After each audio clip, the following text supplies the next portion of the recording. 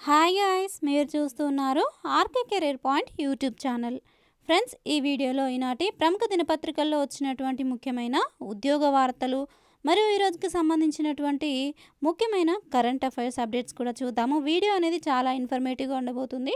వీడియోని చివరి వరకు చూసే ప్రయత్నం చేయండి. అలాగే మీరు చూస్తున్నటువంటి టాపిక్స్ పైన మీ ఒపీనియన్ని కామెంట్ సెక్షన్లో తప్పకుండా తెలియజేయండి. చాలామంది వీడియోని చూస్తున్నారు కానీ లైక్ చేయట్లేదు. తప్పకుండా లైక్ చేసే ప్రయత్నం చేయండి. మీలాగే చాలా మందికి ఈ యొక్క వీడియో అనేది చేరుతుంది. సో అలాగే మీ యొక్క ఒపీనియన్ని కామెంట్ సెక్షన్లో లేదంటే ఏమైనా డౌట్స్ ఉన్నా కూడా కామెంట్ సెక్షన్లో తెలియజేసినట్లయితే నేను మీకు రిప్లై ఇవ్వడానికి అయితే ట్రై చేస్తాను.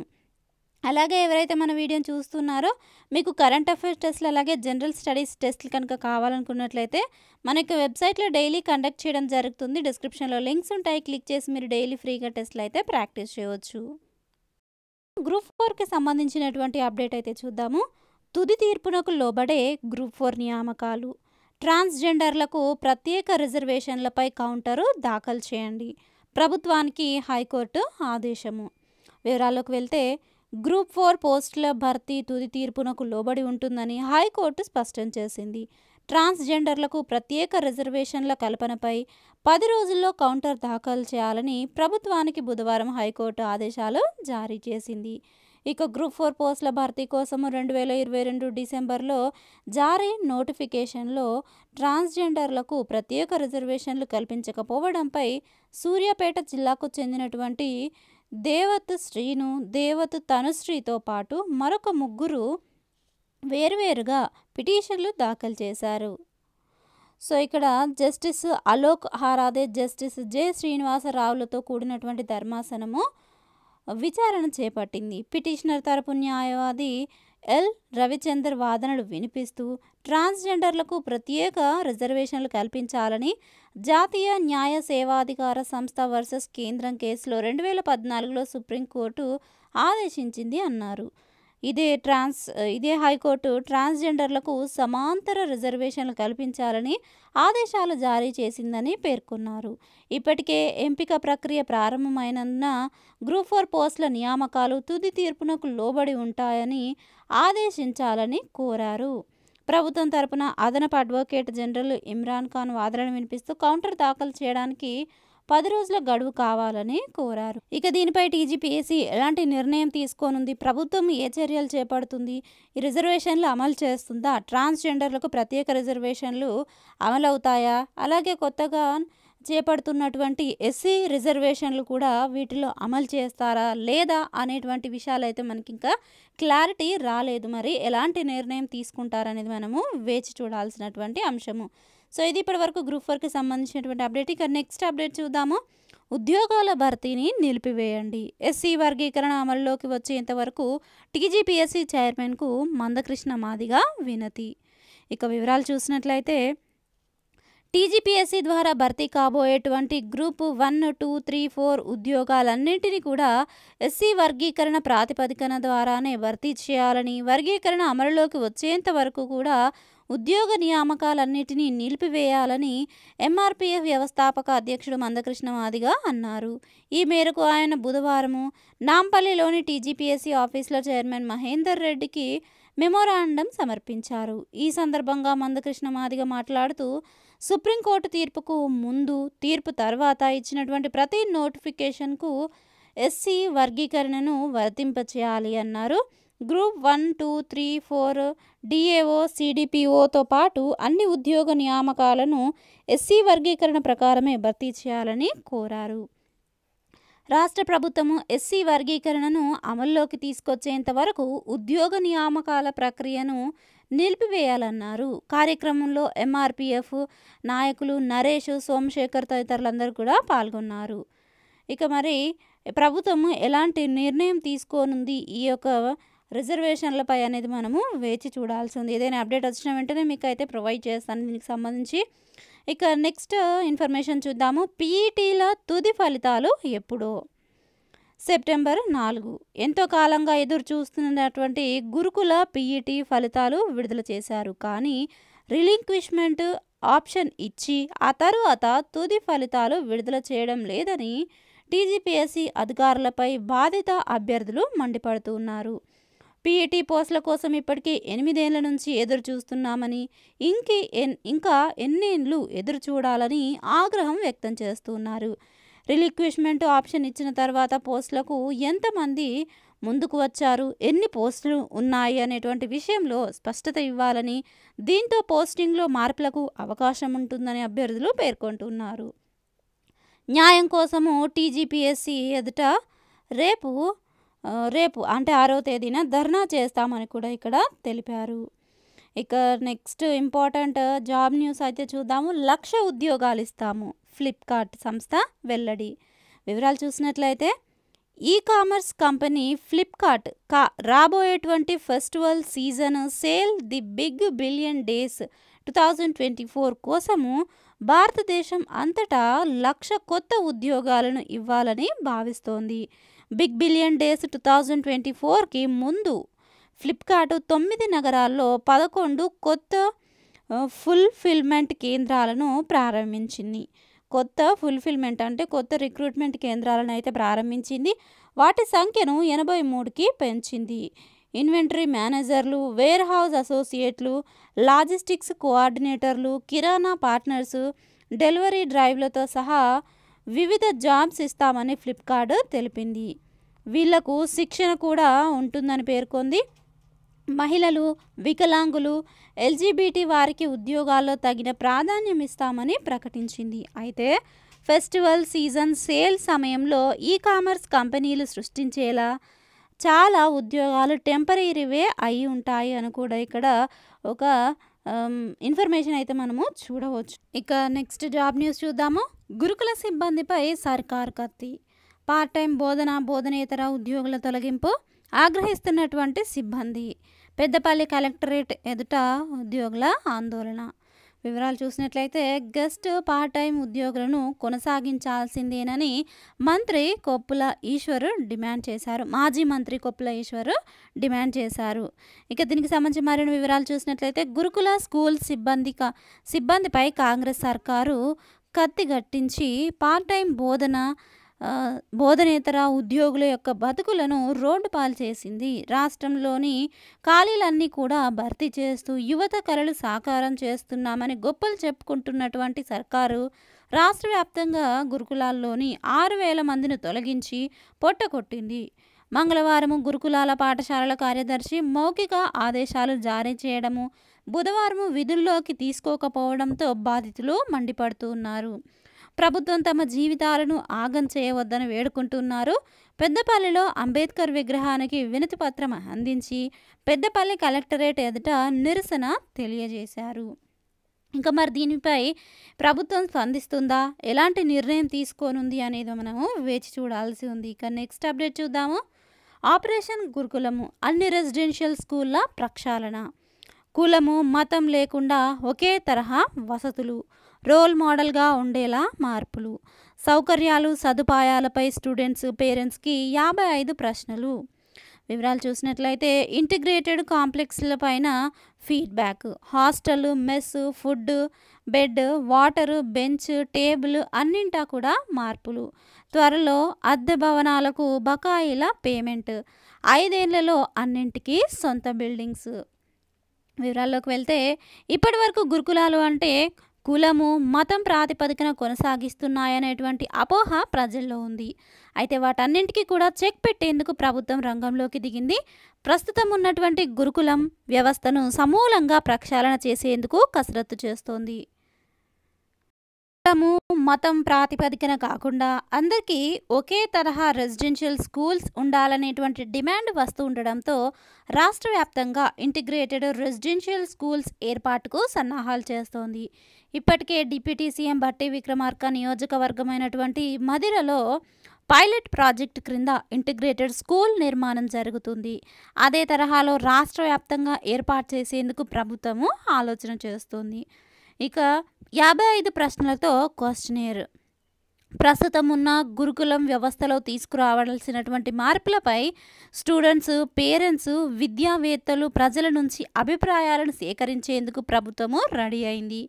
ఏకపక్షంగా విధానాలు రూపొందించి పిల్లలపై రుద్దడం వల్ల ఉపయోగం ఉండదని అభిప్రాయానికి వచ్చినటువంటి ప్రభుత్వము యాభై ఐదు ప్రశ్నలతో ఈ యొక్క అభిప్రాయాల సేకరణ అయితే జరుపుతుంది. ఇక దీనిపై మరిన్ని అప్డేట్స్ అయితే మీరు పీడిఎఫ్లో చదువుకోవచ్చు. నేను డిస్క్రిప్షన్లో ఈ పీడిఎఫ్ లింక్ ఇస్తాను. నెక్స్ట్ జాబ్ న్యూస్ చూద్దాము.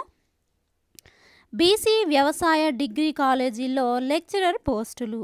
వనపర్తి కరీంనగర్ జిల్లాలోని బీసీ గురుకుల మహిళా వ్యవసాయ కాలేజీలో తాత్కాలిక ప్రాతిపదికన లెక్చరర్ పోస్టులు భర్తీ చేయనున్నట్లుగా సొసైటీ కార్యదర్శి బడుగు సైదులు బుధవారం ఒక ప్రకటనలో తెలిపారు.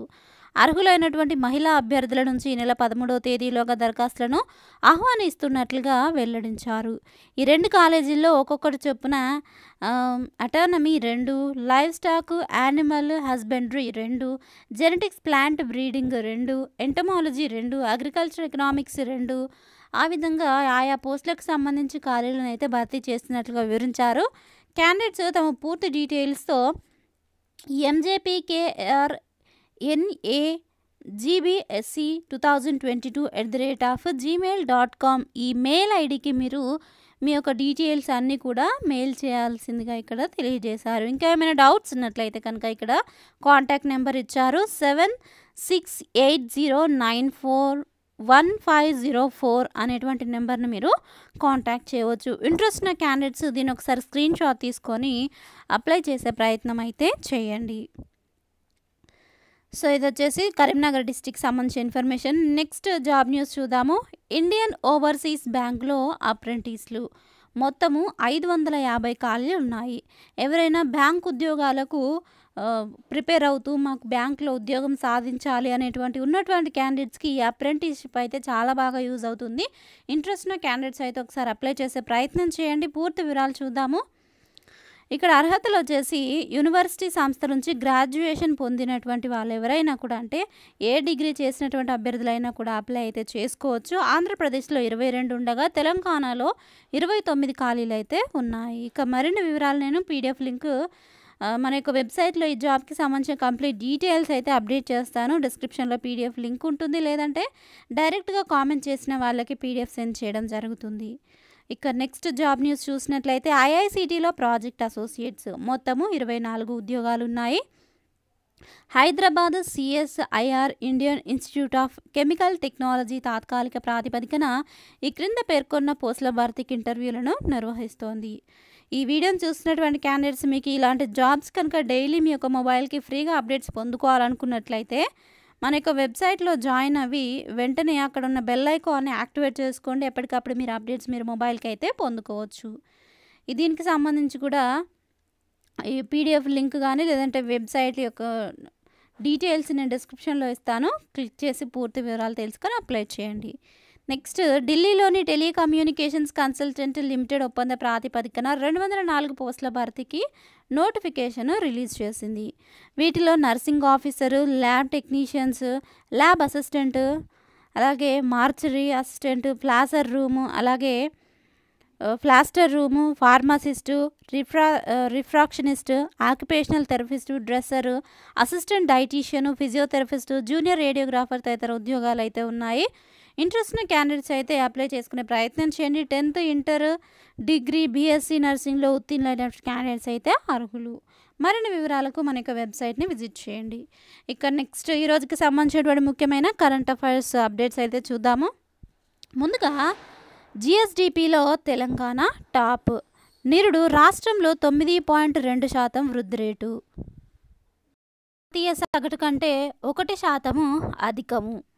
తర్వాతి స్థానాల్లో తమిళనాడు రాజస్థాన్. వివరాలు చూసినట్లయితే ఆర్థిక అభివృద్ధిలో తెలంగాణ దూసుకెళ్తుంది. గత ఆర్థిక సంవత్సరము రాష్ట్ర సంపద తొమ్మిది పాయింట్ రెండు శాతం వృద్ధి చెందింది. ఇది ఎనిమిది పాయింట్ రెండు శాతంగా ఉన్న జాతీయ సగటు వృద్ధి రేటు కంటే ఒకటి శాతము అధికము. తద్వారా దేశంలో అత్యధిక ఆర్థిక వృద్ధి రేటు సాధించినటువంటి పది పెద్ద రాష్ట్రాల జాబితాలో తెలంగాణ అగ్రగామిగా నిలిచింది. కేంద్ర ప్రభుత్వం విడుదల చేసిన గణాంకాల ప్రకారము గత ఆర్థిక సంవత్సరంలో తెలంగాణ ఏడు పాయింట్ తొమ్మిది లక్షల కోట్ల వాస్తవిక జిఎస్డిపితో దేశంలో తొమ్మిదవ అతిపెద్ద ఆర్థిక వ్యవస్థగా నిలిచింది. ఇక మరిన్ని డీటెయిల్స్ నేను పీడిఎఫ్ లింక్ డిస్క్రిప్షన్లో ఇస్తాను. చదివే ప్రయత్నం అయితే చేయండి. నెక్స్ట్ కరెంట్ అఫైర్స్ చూసినట్లయితే నూట పదిహేడు మంది ఉత్తమ ఉపాధ్యాయులు. ఉపాధ్యాయ దినోత్సవం సందర్భంగా అందజేసేటువంటి రాష్ట్ర స్థాయి ఉత్తమ ఉపాధ్యాయ అవార్డులు ఈ ఏడాది నూట పదిహేడు మందిని వరించాయి. పాఠశాల విద్యాశాఖ ముఖ్య కార్యదర్శి బుర్రా వెంకటేశం బుధవారము వేర్వేరు జీవోలు విడుదల చేశారు. ఉన్నత విద్యలో అత్యధికంగా యాభై ఐదు మంది అధ్యాపకులు అసిస్టెంట్ ప్రొఫెసర్లు ఎంపికయ్యారు. పాఠశాల విద్యలో నలభై ఏడు ఇంటర్ విద్యలో పదకొండు మంది సాంకేతిక విద్యలో నలుగురిని అవార్డులు వరించాయి. పదివేల నగదు సర్టిఫికెట్ మెడల్ను అందజేయడంతో పాటు రవీంద్ర భారతిలో గురువారం వీరిని సన్మానిస్తారు. నెక్స్ట్ కరెంట్ అఫైర్స్ చూద్దాము. ప్లాస్టిక్ వ్యర్థాల ఉత్పత్తిలో భారత్ టాప్. ఏటా పది పాయింట్ రెండు మిలియన్ టన్నులు ఉత్పత్తి. వివరాల్లోకి వెళ్తే ప్లాస్టిక్ వ్యర్థాల ఉత్పత్తిలో భారత్ అగ్రస్థానంలో ఉంది. ప్రతి ఏడాది పది పాయింట్ రెండు మిలియన్ టన్నుల వ్యర్థాలను ఉత్పత్తి చేస్తోంది. ఇది తర్వాత పెద్ద కాలుష్య దేశాల కంటే రెండింతలు ఎక్కువ అని ఒక నివేదిక వెల్లడించింది. యూకేలోని యూనివర్సిటీ ఆఫ్ లీడర్స్కు చెందినటువంటి పరిశోధకులు తెలిపిన వివరాల ప్రకారం ప్రపంచవ్యాప్తంగా ప్రతి ఏడాది యాభై ఏడు మిలియన్ టన్నుల ప్లాస్టిక్ వ్యర్థాలు ఉత్పత్తి అవుతున్నాయి. ఈ వ్యర్థాలు ఒక చోటని కాక సముద్ర గర్భం నుంచి కొండ శిఖరాల వరకు ఆఖరికి మానవ శరీరంలో సైతం పెద్ద ఎత్తున పేరుకుపోతూ ఉన్నాయి. ఈ వ్యర్థాల్లో మూడింట రెండు వంతులు ప్రపంచంలోని దక్షిణ దేశాల నుంచి వస్తున్నట్లుగా ఈ నివేదిక వెల్లడించింది. ఇక నెక్స్ట్ కరెంట్ అఫైర్స్ చూద్దాము. నేటి నుంచే హైదరాబాద్లో గ్లోబల్ ఏఐ సదస్సు. ప్రారంభించనున్నటువంటి ముఖ్యమంత్రి రేవంత్ రెడ్డి. వివరాల్లోకి వెళ్తే రాష్ట్ర ఏఐ హబ్గా తీర్చి రాష్ట్రాన్ని ఏఐ హబ్గా తీర్చిదిద్దడంతో పాటు రెండు వేల ముప్పై నాటికి హైదరాబాద్ను ఐటీలో బెంగళూరును అధిగమించడమే లక్ష్యంగా పెట్టుకున్న తెలంగాణ రాష్ట్ర ప్రభుత్వము మరో ప్రతిష్టాత్మక కార్యక్రమ నిర్వహణకు సిద్ధమైంది. గురువారం గ్లోబల్ ఆర్టిఫిషియల్ ఇంటెలిజెన్స్ సమ్మిట్ను ముఖ్యమంత్రి రేవంత్ రెడ్డి ఐటీ శాఖ మంత్రి శ్రీధర్ బాబు ప్రారంభించనున్నారు. Making AI work for everyone అనే థీమ్తో గురు శుక్రవారాల్లో హైదరాబాద్ మాదాపూర్లోని హెచ్ఐసిసిలో ఈ సదస్సును నిర్వహిస్తున్నారు. దేశంలోనే మొదటిసారిగా నిర్వహిస్తున్న ఈ గ్లోబల్ ఆర్టిఫిషియల్ ఇంటెలిజెన్స్ సమ్మిట్కు ప్రపంచం నలుమూలల నుంచి ఏఐ రంగంలో పేరు పొందిన ప్రముఖులు వివిధ సంస్థలకు చెందిన రెండు వందల ప్రతినిధులు అయితే పాల్గొననున్నారు. మరిన్ని వివరాలు పీడిఎఫ్లో చదువుకునే ప్రయత్నం చేయండి. నెక్స్ట్ కరెంట్ అఫైర్స్ చూద్దాము. స్పోర్ట్స్ కరెంట్ అఫైర్స్ చూద్దామండి. పారాలింపిక్స్లో ఆర్చరీలో స్వర్ణము. టోక్యో ఒలింపిక్స్లో ఉత్తమంగా ఏడు పథకాలతో నెలకొల్పినటువంటి రికార్డును ఈసారి భారత అథ్లెట్లు అధిగమిస్తారనే ఆశలు రేకెత్తాయి. రెండంకెల పథకాల లక్ష్యం సాధ్యమవుతుందనే అనిపించింది. కానీ ప్యారిస్లో ఆరు పథకాలకు పరిమితమైంది భారత్ బృందము. అయితే పారా అథ్లెట్లు మాత్రము గత రికార్డును అధిగమించడమే కాదు ఈసారి పెట్టుకున్నటువంటి ఇరవై ఐదు పథకాల లక్ష్యాన్ని అందుకునే దిశగా అడుగులు వేస్తున్నారు. టోక్యోలో పంతొమ్మిది పథకాలతో నెలకొల్పిన రికార్డును బద్దలు కొట్టినటువంటి భారత్. ఇం మరో ఇంకో నాలుగు రోజుల్లో ఆటలు ఉండగానే పథకాల సంఖ్యను ఇరవై నాలుగుకు చేర్చింది. బుధవారం ఆర్చర్ హర్విందర్ సింగ్ స్వర్ణం సాధిస్తే షార్ట్ పుటర్ సచిన్ రజతమైతే గెలుచుకున్నారు. ఇక నెక్స్ట్ మీరు స్క్రీన్ పైన చూస్తూ ఉంది ఈ యొక్క హర్వీందర్ సింగ్కి సంబంధించినటువంటి ఇమేజ్. ఇతనికి ఆర్చర్ ఆర్చరీలో గోల్డ్ మెడల్ ఫస్ట్ టైం సాధించినటువంటి వ్యక్తిగా రికార్డును అయితే క్రియేట్ చేశారు. ఫస్ట్ టైం పారా ఆర్చరీలో గోల్డ్ మెడల్ సాధించినటువంటి వ్యక్తిగా రికార్డును సృష్టించాడు. ఇక నెక్స్ట్ ఇక్కడ భారత్ బ్రిటన్ అనేది ఒకటి రెండు స్థానాల్లో ఉండగా పథకాల పట్టికలో అమెరికా మూడో స్థానానికి పరిమితమైంది. ఇక భారత్ పదమూడవ స్థానంలో ఉంది పథకాల వేటలో. మొత్తం ఇక్కడ భారత్కి ఇప్పటి వరకు ఐదు స్వర్ణాలు రాగా ఇక్కడ చూడవచ్చు మీరు స్క్రీన్ పైన ఐదు స్వర్ణాలు అలాగే తొమ్మిది రజతాలు పది కాంస్యాలు అయితే భారత్కు వచ్చినట్లుగా ఇక్కడ చూడవచ్చు పారాలింపిక్స్లో. సో ఇక్కడ ఇంకొక స్క్రీన్ పైన చూస్తుంది ఇంకొకరి ఇమేజ్. అజిత్కి సంబంధించి జావెలిన్ త్రూలో రజత పథకాన్ని సాధించినటువంటి అజిత్. ఇక నెక్స్ట్ క్రింద చూస్తున్నారు ధరబింద్ ధరంబీర్ పసిడి త్రో ప్రణవ్కు రజతము పారాలింపిక్స్ క్లబ్ త్రో పారాలింపిక్స్ పురుషుల క్లబ్ త్రో క్లబ్ త్రోలో భారత అథ్లెట్లు అదరగొట్టారు. దేశానికి స్వర్ణ రజత పథకాలను అందించారు. అదిరే ప్రదర్శనతో ధరంబీర్ సింగ్ స్వర్ణం చేజిక్కించుకోగా ప్రణవ్ రజతం గెలుచుకున్నాడు. ఇక నెక్స్ట్ ఇక్కడ క్రి- మరొక స్క్రీన్ పైన ఇక్కడ చూడవచ్చు మరొకరి ఇమేజ్ అనితర సాధ్యుడు సచిన్. ఆరేళ్ళకే తల్లి మరణించింది. తొమ్మిదేళ్ళ వయసులో ప్రమాదంలో ఎడమ చేయి దెబ్బతింది. కానీ వాటన్నింటిని కూడా అధిగమించి ఈ యొక్క షార్ట్ పుట్ ఏదైతే ఉందో ఈ షార్ట్ పుట్ విభాగంలో పారాలింపిక్స్లో పథకాన్ని అయితే సాధించాడు ఒలింపిక్స్లో షార్ట్ పుట్ క్రీడల్లో రజిత పథకాన్ని అయితే పొందుకున్నాడు. ముప్పై నాలుగేళ్ళ ఈ యొక్క సచిన్ కిలారి అనేటువంటి వ్యక్తి పారాలింపిక్స్లో రజతంతో మెరిశాడు. సో ఇది ఇప్పటి వరకు ఉన్నటువంటి కరెంట్ అఫైర్ ఇక నెక్స్ట్ ఈ రోజుకి సంబంధించినటువంటి పత్రికల్లో వచ్చినటువంటి వివిధ మోడల్ పేపర్స్ సబ్జెక్ట్స్ ఏంటి ఎలాంటి ప- న్యూస్లు ఇచ్చారనేది మనం ఒకసారి చూసే ప్రయత్నం చేద్దాము.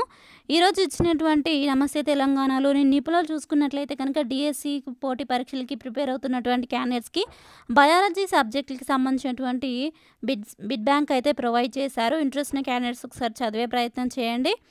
ఇక నెక్స్ట్ చూసినట్లయితే భవితలో ఫిజిక్ ఫిజిక్స్కి సంబంధించినటువంటి థియరీ ఆర్టికల్ని పబ్లిష్ చేశారు. యాంత్రిక శాస్త్రానికి సంబంధించినటువంటి సబ్జెక్ట్ అండి. సో ఎవరైతే ఈ యొక్క ఫిజిక్స్కి సంబంధించి ఈ యొక్క టాపిక్ చదవాలి అనుకుంటున్నారో తప్పకుండా పీడిఎఫ్లో చదువుకునే ప్రయత్నం చేయండి. అలా అలాగే డిజాస్టర్ మేనేజ్మెంట్కి సంబంధించినటువంటి థియరీ ఆర్టికల్ని కూడా ఇక్కడ పబ్లిష్ చేశారు. ఇది కూడా పోటీ పరీక్షలో చాలా ఇంపార్టెంట్ గ్రూప్స్కి ఎస్పెషల్గా యూజ్ అవుతుంది. ఒకసారి చదివే ప్రయత్నం చేయండి. ఇక నెక్స్ట్ తెలంగాణ ఉద్యమ చరిత్ర సంస్కృతికి సంబంధించినటువంటి ఇంపార్టెంట్ బిట్స్ని అయితే మనకి మోడల్ క్వశ్చన్స్ని అయితే ఇక్కడ ప్రొవైడ్ చేశారు. సో ఇవన్నీ కూడా మన యొక్క తెలంగాణ హిస్టరీలో సంబంధించి చాలా ఇంపార్టెంట్. ఇంట్రెస్ట్ ఉన్న క్యాండిడేట్స్ ఒకసారి చదివే ప్రయత్నం చేయండి. ఇక నెక్స్ట్ ఈరోజు వెలుగు సక్సెస్లో చూసినట్లయితే కనుక జమ్మూ కాశ్మీర్ పునర్విభజన సబ్జెక్ట్ పైన మంచి ఆర్టికల్ పబ్లిష్ చేశారు. గ్రూప్ వన్కి ప్రిపేర్ అవుతున్నటువంటి మెయిన్స్కి ప్రిపేర్ అవుతున్న క్యాండిడేట్స్కి ఇది చాలా బాగా యూజ్ అవుతుంది. ఒకసారి ఈ యొక్క పీడిఎఫ్ని డౌన్లోడ్ చేసుకొని చదివే ప్రయత్నం చేయండి. అలాగే తెలంగాణ జిల్లాల యొక్క ప్రత్యేకతలు అండ్ అలాగే లింగ నిష్పత్తికి సంబంధించినటువంటి డేటా కూడా మనకి ఇక్కడ ప్రొవైడ్ చేశారు. దీన్ని అంతా కూడా ఒకసారి నోట్ చేసుకోండి. మీ యొక్క ఏదైతే షార్ట్ నోట్స్ ప్రిపేర్ చేసుకుంటున్నారు కదా దాంట్లో వీటన్నిటి కూడా నోట్ చేసుకున్నట్లయితే చాలా బాగా యూజ్ అవుతాయి. సో ఫ్రెండ్స్ చూసారు కదా ఇది ఈ రోజుకి సంబంధించినటువంటి ముఖ్యమైన ఇంపార్టెంట్ కరెంట్ అఫైర్స్ అండ్ అలాగే జాబ్ అప్డేట్స్. ఈ వివరాలు మీకు నచ్చినట్లయితే తప్పకుండా వీడియోని లైక్ చేయండి. మీ యొక్క ఒపీనియన్ని తప్పకుండా నాకు కామెంట్ సెక్షన్లో తెలియజేసే ప్రయత్నం చేయండి. మరిన్ని వీడియోస్ ఇలాంటివి మీకు అందించడానికి ఎంతో బూస్టప్గా ఆ యొక్క కామెంట్స్ కానీ లైక్స్ కానీ మాకు సహకారాన్ని అందిస్తాయి. Thank you friends. Thanks for watching this video. Have a nice day. Bye-bye.